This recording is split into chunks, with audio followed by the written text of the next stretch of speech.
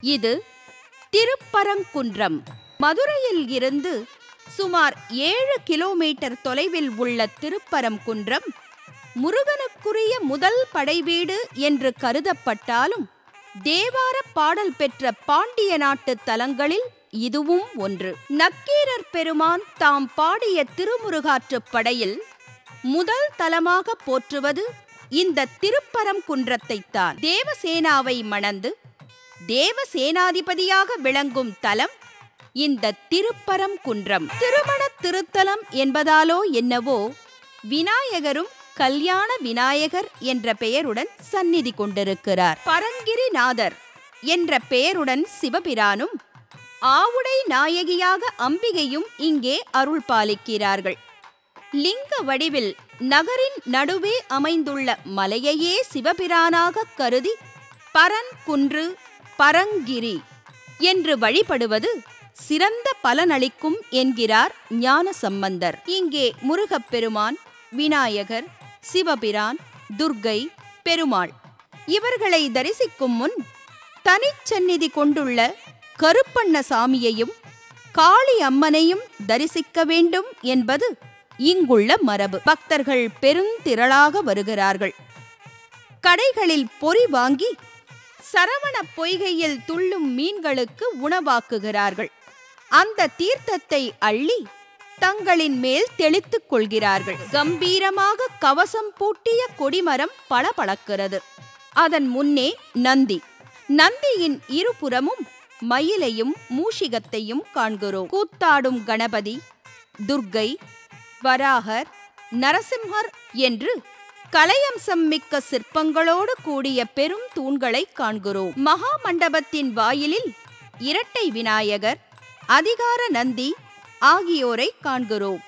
இங்கே முருகப்பெருமானுக்கு அபிஷேகம் செய்யப்படுவதில்லை. எண்ணெய் காப்பும் புணுகு சாத்துவதும் தான். அபிஷேகம் அனைத்தும் வேலுக்கு செய்யப்படுகின்றன. சோமாஸ்கந்தர் கூத்தபிரானான நடராஜர் முருகப்பெருமானின் துணைவர்களான நவ வீரர்கள் ஞான குருவான தட்சிணாமூர்த்தி ஆவேச அம்சமான ஸ்ரீ பைரவர் ஆகியோர் இறைவனின் நயனங்களாக விளங்குவதாக தத்துவங்கள் விவரிக்கின்றன.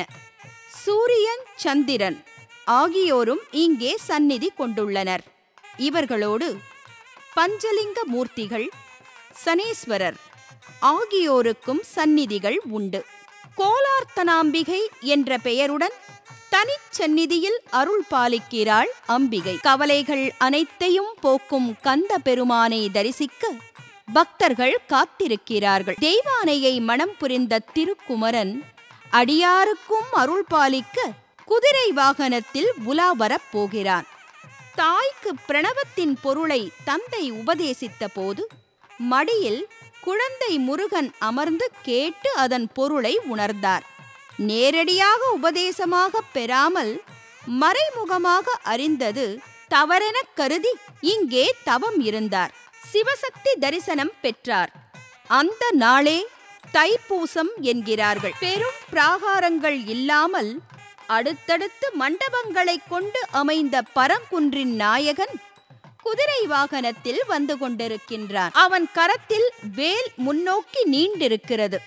பாரதியின் நினைவுதான் வருகிறது. கிட்ட நில்லாதே பகையே துள்ளி வருகுது வேல்.